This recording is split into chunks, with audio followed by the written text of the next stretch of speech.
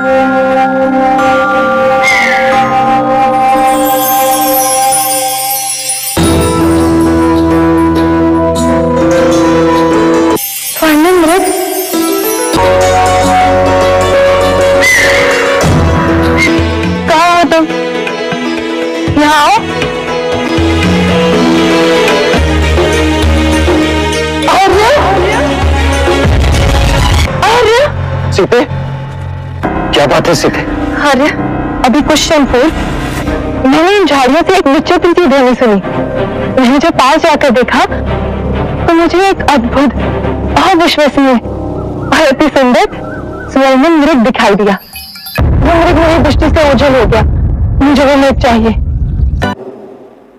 फिर तो भाभी माँ के लिए आपको वो मृग लाना ही होगा भैया। अवश्य लक्ष्मण भैया मैं भी आपके साथ चलता हूँ। की सुरक्षा करनी चाहिए। जो हो। गया भैया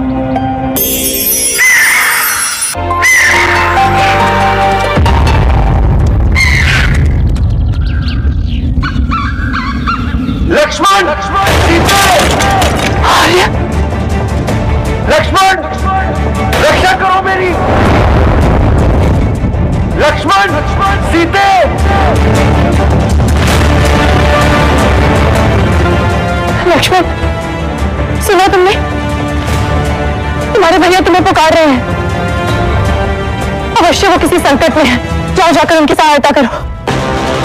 किंतु भाभी माँ आपकी रक्षा का दायित्व मुझे राम भैया ने दिया है।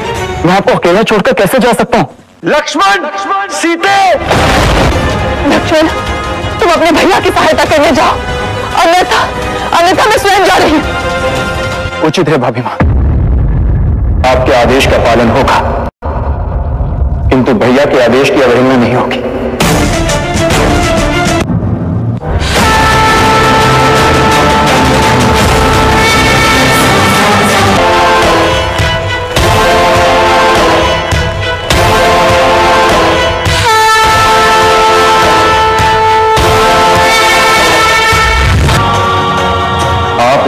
को पार मत कीजिएगा।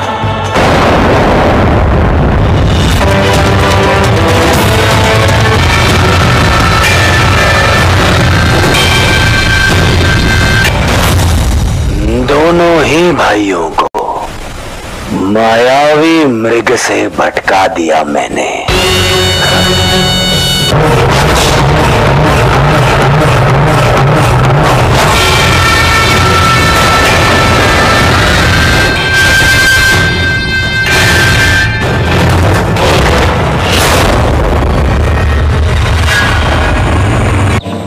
ये कैसी शक्ति है?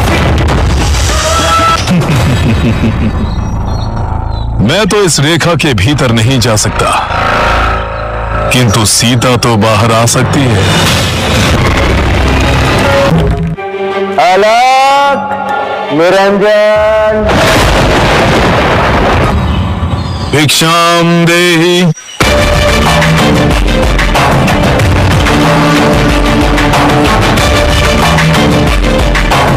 भिक्षाम देही भिक्षाम देही भिक्षाम देही क्षमा कर दीजिए ऋषि मैं शिव आराधना के कारण आपकी पुकार नहीं सुन पाई। भिक्षाम देही ऋषि ऋषिवर।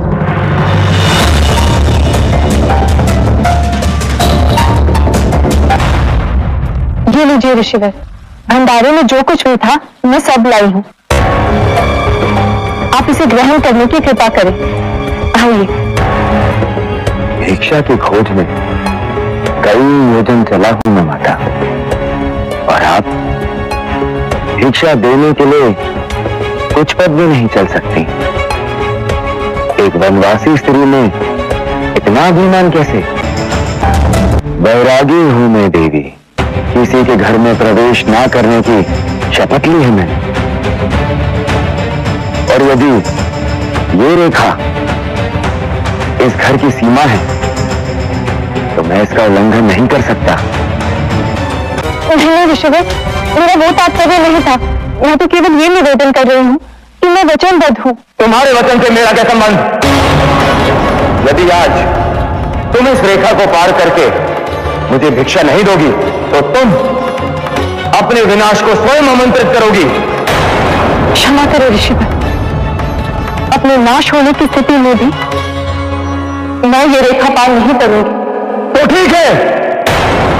जिस पति और तेवर के वचन के कारण तुम इस साधु का अपमान कर रही हो वो मेरे श्राप की अग्नि में जलेंगे।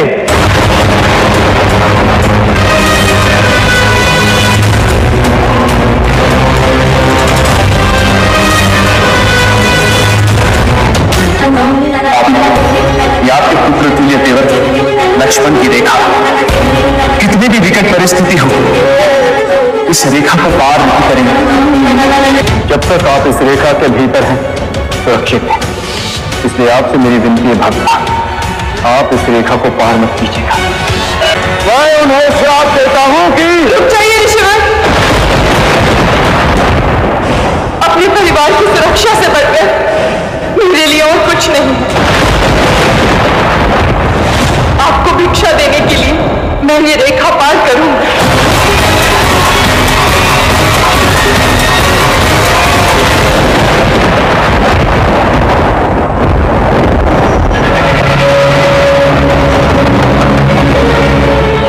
भिक्षा ग्रहण कीजिए।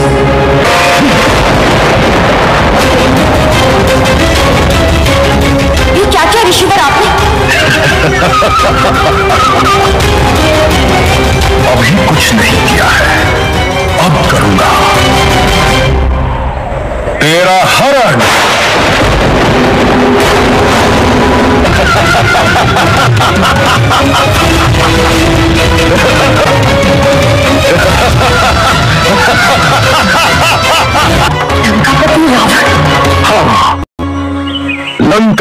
रावण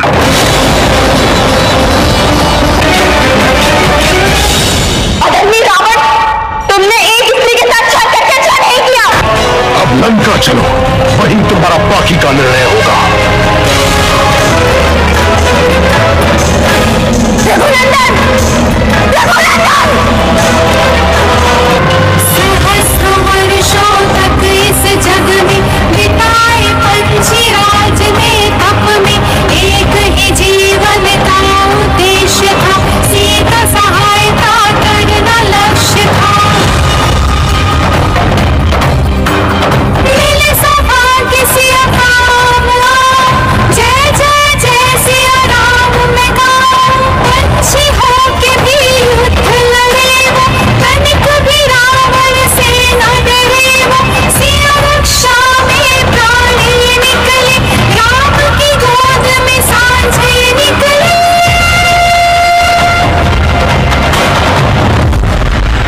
उस क्षण जटायु ने केवल राम के दर्शन प्राप्त करने हेतु अपने प्राण रोक रखे थे।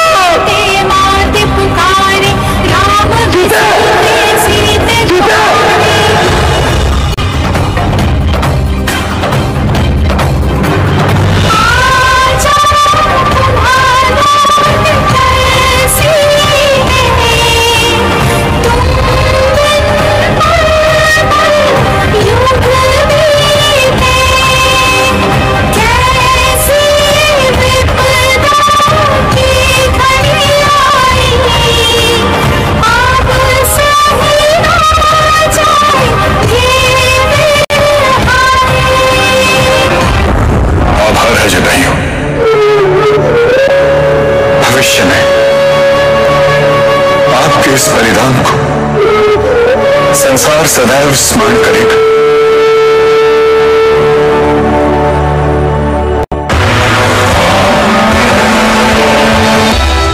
दक्षिण की ओर चलते चलते श्री राम और लक्ष्मण से कबंध नाम का एक राक्षस टकराता है, जो कि वास्तव में एक शापित देव पुरुष था।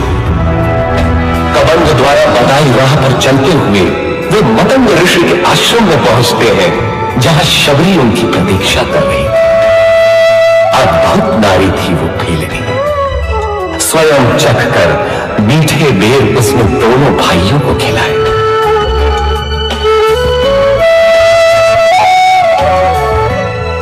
इसके बाद दोनों किशकिंधा पहुँचे।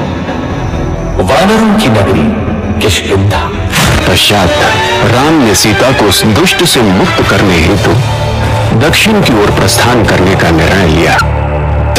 मुझे ऐसी अनुभूति हो रही है, जैसे कोई है जो हमारी इस कार्य में सहायता करने हेतु तत्पर है। कोई ऐसा है